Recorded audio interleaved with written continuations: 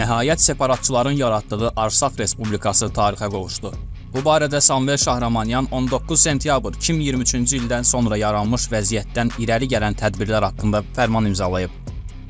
Sənəcama əsasən mövcud ağır hərbi siyasi vəziyyətlə əlaqədar olaraq Rusiya sülhməramlı qüvvələrin komandanlığının vasitəçiliyi ilə əldə edilmiş razılaşmanı nəzərə alaraq Arsaq xalqının fiziki təhlükəsizliyi və həyati maraqlarının təmin edilməsi prioritetlərinə əsaslanaraq Azərbaycan Respublikasının nümayəndələri ilə şərtlənir ki, Dağlıq Qarabağ sakinləri, o cümlədən silahı yerə qoymuş hərbi qulluqçuların əmlakı öz nəqliyyat vasitələri ilə Laçın dəhlizi ilə sərbəst, könüllü və maneəsiz gediş-gəlişi Azərbaycan Respublikasının qanununun 93-cü maddəsini rəhbər tutmaqla təmin edilir. Qondarma rejimin konstitusiyası qərarı alıb.